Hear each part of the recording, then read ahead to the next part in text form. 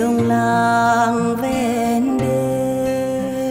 Hồ tây xanh mênh mông trong tươi thắm nắng chiều.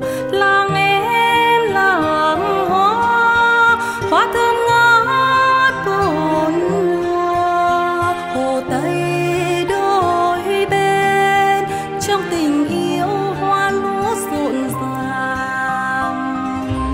Lúa